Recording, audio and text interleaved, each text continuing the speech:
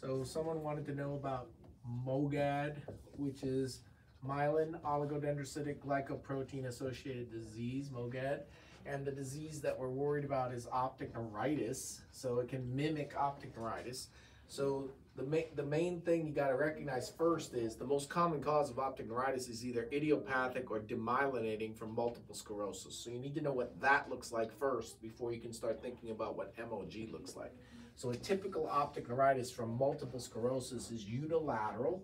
There's pain with eye movement and you're going to have an ipsilateral relative afferent pupillary defect, a visual field or visual acuity loss, and the fundus is usually normal. The doctor sees nothing and the patient sees nothing. There's nothing to see because this is a retrobulbar optic neuropathy.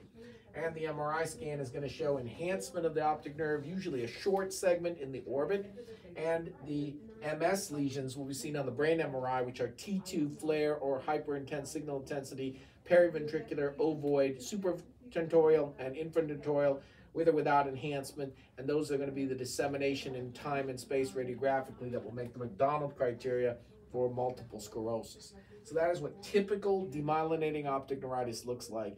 We would not order the MOG or the NMO in this patient right here. They have MS. They need lumbar puncture, oligoclonal bands, MRI of the cervical spine, neurology, and consideration for intravenous steroids in the acute phase, followed by disease-modifying therapy for multiple sclerosis.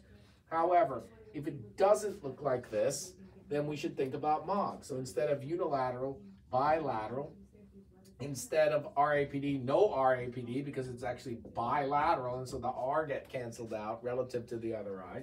Fundus shows disc edema rather than a normal fundus. The doctor sees something, disc edema, and the MRI scan does not show multiple sclerosis white matter lesions and instead shows other findings and the things we're looking for are fluffy lesions that are large and confluent either in the brain or in the nerve itself. Far along the optic nerve that's longitudinally extensive, defined as greater than one half of the distance of the optic nerve, or longitudinally extensive transverse myelitis, three vertebral segments, or longitudinally extensive atrophy of the spine. Those are far lesions. And if we see it involving the fat that's also a, sim, uh, a sign that the inflammatory process is not in the myelin itself, but outside the myelin as well. And so in the MRI scan, we might see sheath enhancement or we might see fat involvement on the MRI scan. So both optic perineuritis and the sheath were involvement on the fat, on the fat suppressed orbital post-contrast T1 MR of the orbit.